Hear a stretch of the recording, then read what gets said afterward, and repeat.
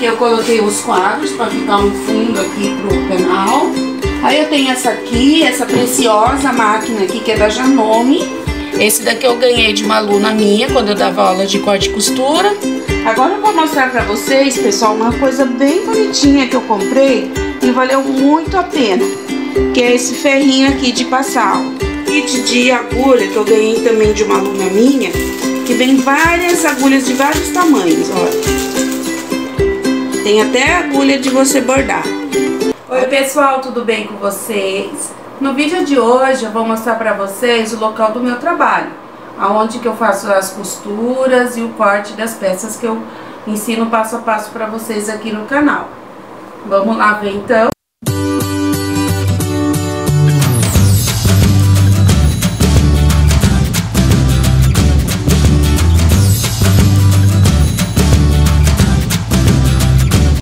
Então, pessoal, esse espaço ele fica aqui no meu quarto. Aqui fica a minha cama, aqui a janela. Daí eu vou começar daqui, ó. Aqui é a porta do meu quarto. Aqui fica o meu guarda-roupa. Aí eu vou começar agora pela minha boneca, essa boneca de manequim, né? Eu fiz as marcações nela já, ó. Essa aqui é a altura do busto e aqui é a marcação da cintura. Então eu uso essa, esse manequim aqui, essa boneca, sempre para colocar as roupas para tirar foto pro canal para vocês. Aqui são as fitas métricas que eu tenho. Essa aqui é um pouco mais velhinha, mas eu gosto dela. E essa daqui é azul também. E essa tem outro lado bem diferente, que ela vai de 2 em 2 centímetros. Aí aqui eu coloquei os quadros para ficar um fundo aqui pro canal. Daí pro vídeo, né mãe? Pro vídeo. Aí assim devagarzinho também eu vou mais arrumando para ficar bem mais bonitinho para vocês. Aqui eu tenho a minha overlock, ela é chinesinha. Eu costuro a overlock ó, com três linhas. Eu não uso aqueles cone de overlock industrial. Eu prefiro usar esses daqui, que o ponto fica bem mais bonitinho. Depois eu faço um vídeo para vocês como passar a linha nessa overlock. Aí eu tenho essa aqui, essa preciosa máquina aqui, que é da Janome. Ela é 2008. Ela é uma guerreira essa máquina, ela costura até oito camadas de tecido. Tem vários pezinhos também que eu posso estar tá só tirando aqui e trocando. Aí ela tem o braço livre que eu sempre tiro, ó. Que dá pra colocar barra de calças. E aqui é a minha mesa, onde eu faço o corte das peças. Aqui tem as minhas canetas que são aquelas canetas mágicas que eu mostrei pra você sempre quando eu tô fazendo marcação, a caneta mágica, ela sai conforme você lavar a sua peça. Aqui são minhas canetas piloto, que eu utilizo para fazer marcação de moldes. E aqui também tem mais canetas pra gente usar, pra tirar molde ou copiar algum molde que a gente acha bonito. Aqui eu tenho essa parte aqui, que é para colocar o carretel de linha. Eu dei uma pintadinha, eu coloquei essa frase aqui, faça mais o que te faz feliz. E aqui eu preciso colocar agora os carretéisinhos. Esse daqui é um porta-tesoura. Esse daqui eu ganhei de uma aluna minha, quando eu dava aula de corte e costura. E esse daqui foi minha filha que fez. Até tem um vídeo no canal ensinando a fazer esse porta-tesoura. Essa tesoura eu uso para cortar tecido. E essa tesoura para cortar papel. Lembrando que a tesoura de tecido não pode cortar papel. Aí aqui eu tenho minha caixinha de finetinhos. Que eu preciso trocar também essa espuminha, fazer outra. E aqui eu vou mostrar pra vocês outra máquina que eu tenho. Essa máquina aqui ela é da marca Elna. Ela é o mesmo, os pontos da Janome igualzinho, só que ela tem os dois pontos a mais, que são esses pontinhos aqui de baixo. Esse pontinho aqui é o ponto caseado, e ela é bem complexa também, ela consegue também costurar bastante camada de tecido. Tem a parte removível também, e ela é bem útil também, é muito gostosinha de se costurar. Eu tenho essa outra maquininha aqui, que ela é mais assim que eu comprei para minha filha costurar. Você pode costurar ela manualmente ou você pode colocar a força também. Aqui embaixo tem a possibilidade de você colocar pilha nela. Só que assim, ela serve mais assim para criança mesmo e para costuras bem leve. Aí eu vou tirando aqui as coisas que eu tenho. Eu tenho esse potinho de sorvete que, que eu coloco aqui, ó. Eu coloco algumas tintas de artesanato. Eu tenho a pistola de cola quente. E eu tenho essa cola aqui de tecido, ó. Que ela cola tecido e cola aquelas pedrinhas de metais também nas peças. Agora eu vou mostrar pra vocês, pessoal, uma coisa bem bonitinha que eu comprei e valeu muito a pena. Que é esse ferrinho aqui de passar, ó. É um mini ferro de passar das lojas Premier. Olha o tamanhozinho dele, ó. A hora que você olha assim, você fala assim, nossa, mas funciona. Então vale muito a pena. Ele vem com cabinho e assim, ele serve para você passar gola de camisa ou até para artesanato também. Aqui eu tenho a minha calculadora para fazer assim meus cálculos.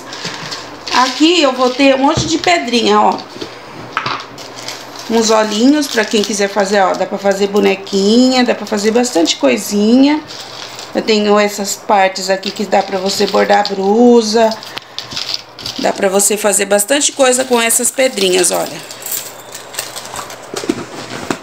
Aqui nesse pote eu vou ter os carretéisinhos, ó.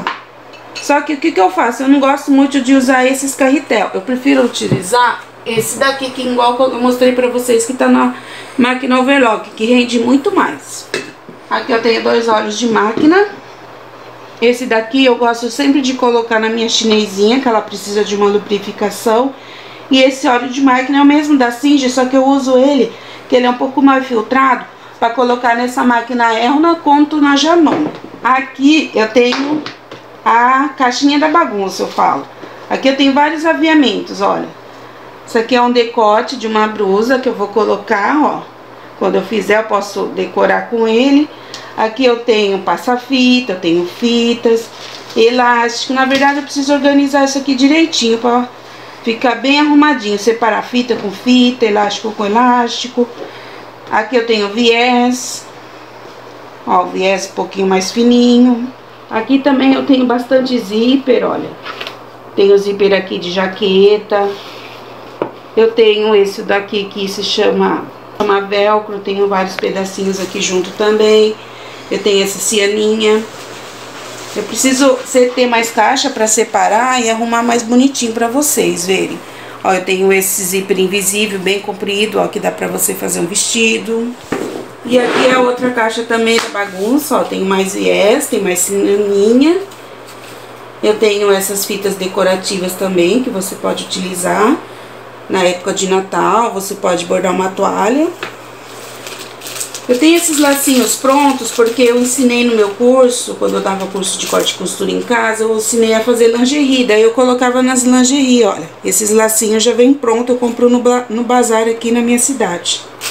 Olha, vem o saquinho com bastante elastiquinho já pronto. Agora eu vou mostrar pra vocês o que tem aqui em cima. Minha caixinha de botão, tem vários botões. Esses botão grande aqui, eu comprei eles pra fazer uma cortina pro quarto da minha filha. Mas faz tempo e até agora eu não fiz a cortina, mas eu vou fazer. Aí tem os botãozinhos que dá pra colocar em blazer. E aqui eu tenho os botões de pressão. Eu vou mostrar pra vocês esse botão como que faz. No próximo vídeo eu vou mostrar pra vocês como colocar um botão numa calça jeans que saiu. Que é esse botão aqui, ó. Esse botão de metal que vem com o feixinho. Aí você pode colocar com a maquininha ou você pode colocar até com o martelinho que você tiver na sua casa. Aqui eu tenho essa caixinha que eu guardo as minhas tesouras, a minha cola bastão. Isso aqui é um kit de agulha que eu ganhei também de uma aluna minha, que vem várias agulhas de vários tamanhos, olha. Tem até agulha de você bordar. Olha o tamanho dessa agulha que grande. Não é uma agulha de crochê, ó. Aí, aqui, ó, é uma agulha para você costurar tecidos mais grossos. Porque antigamente os pessoal costurava na mão, né? Então, utilizava bastante essa agulha. Eu tenho essa pecinha aqui, ó. Que essa pecinha, ela auxilia você a colocar a linha na máquina. E é muito útil esse kit aqui. Aqui eu vou ter um, pouco de ferramenta das máquinas aqui essa aqui é de uma máquina antiga que eu tenho, que eu preciso mandar fazer manutenção nela. São a chave de fenda. Aqui são as luzes da máquina. Na verdade, a luz queimou. Aí eu sempre guardo pra mim poder comprar bem igual. Aqui eu tenho essa chavinha de fenda aqui, ó, que eu utilizo para trocar a agulha da máquina overlock. E essa daqui é para utilizar nas máquinas caseirinha.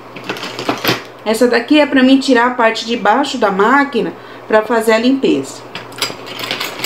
E esses são alguns pezinhos que eu tenho. Agora eu vou mostrar para vocês o kit de pezinhos que eu tenho aqui, ó. Depois eu faço um vídeo explicativo ensinando como que cada pezinho é utilizado, tá? Eu comprei essa caixinha aqui, esse kit, por 100 reais no Mercado Livre, e ele é bem útil, vale muito a pena. Aqui eu tenho um pouquinho coisa, aqui eu tenho umas agulhas de mão. Aqui eu tenho mais uma fita métrica. Aqui eu tenho um lugar, um, aquelas etiquetas de preço que assim, se você quiser fazer alguma peça, você vender, montar uma lojinha, você pode colocar o valor aqui. Agora eu vou mostrar pra vocês o que tem dentro dessa, dessa latinha aqui. Eu tenho esse alicate aqui. Depois eu vou também... Tem vários vídeos pra fazer, então o mundo da costura, ele é imenso, né? Eu vou ensinar vocês a como colocar esse botãozinho aqui de pressão, ó. Que vem também com esse feixinho aqui, ó. Eu posso utilizar ele também para pregar aquele botão na calça jeans, furando o tecido com esse equipamento aqui, ó. Aí eu vou ter essas matrizes também para trocar. Aqui eu tenho essa caixa de costura, que aqui fica minhas bobinas das duas máquinas que eu tenho, ó. Eu tenho umas bobinas de ferro também que eu gosto de utilizar. Tem essa caixa aqui de costura também que tava aqui na prateleirinha. Olha, eu peguei, é uma caixa de MDF. Aí eu coloquei essa, esse adesivo aqui, que é caixa de costura. Aí aqui eu tenho bastante coisinha, olha. Aqui eu tenho umas agulhas das máquinas. Essa daqui é das máquinas da caseirinha e essa aqui são agulhas da overlock. Sempre tomar cuidado para não misturar. Aqui tem mais pezinhos. Aqui eu tenho uma agulha de crochê. Aqui eu tenho uma linha de crochê, que um dia, quem sabe, eu vou fazer. Tenho vontade de aprender também. Aqui eu tenho mais pezinhos, esse pezinho de viés. Aqui eu tenho mais agulha de overlock. Esse pezinho aqui de pregar zíper invisível. Aqui eu tenho as bobinas, eu sempre tenho bobinas de reserva. Essa bobina, ela tá bem aberta aqui nesse canto aqui, ó. Não sei se vai dar pra vocês verem. Ela fica com esse vãozinho aqui aberto, por quê? Essa bobina, ela é solta. Eu deixo ela reservada pra mim costurar aquelas costuras que tem um lastex, sabe? Que ela fica bem assim, é puxadinha com elástico. Aqui, eu, nesse saquinho, eu vou ter uns fechos pra mim colocar no zíper, que eu compro separado. E aqui, olha, eu tenho esses alfinetes aqui, ó. Porque quando a cliente vem, eu vou ajustar a roupa nela, ou fazer as... Tirar as provas, eu uso esse alfinete aqui pra não ficar cutucando a cliente. Eu gosto muito dele. Aqui, pessoal, nessa mesa, ela tem essa parte aqui de dentro, mas aí Aqui é a parte da bagunça, então tem muito tecido, tem bastante modelagem aqui, e no próximo vídeo eu mostro pra vocês. Aí eu coloquei essa cortininha aqui, fiz ela aqui na volta inteira, pra tá escondendo essa bagunça aí. Mas futuramente eu vou colocar umas prateleirinhas e arrumar bem bonitinho pra vocês. Ah, eu esqueci de mostrar pra vocês as minhas réguas. Eu tenho essa régua aqui, que ela é de 60 centímetros, que eu gosto de fazer modelagem também. Eu tenho essa outra e essa curvada também. E eu tenho a de decote, que tá guardada aqui embaixo.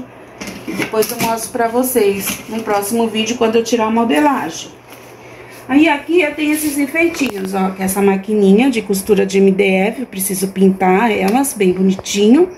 Tem essa outra, que é filha dessa daqui. Tenho essa torre de Paris, que vocês já viram nos vídeos. E essa maquininha de costura também, ó. Que é uma maquininha que toca música. Vamos ver se vai tocar. E não vai tocar. Aí, tocou. Ela não costura, ela mexe o pezinho, olha. Então, pessoal, o resultado foi esse. Assim é um cantinho básico provisório que eu tenho aqui para costurar, não é um ateliê de costura, mas assim devagarzinho a gente vai conseguindo as coisas e dá para trabalhar bem em casa. Um beijo, até o próximo vídeo.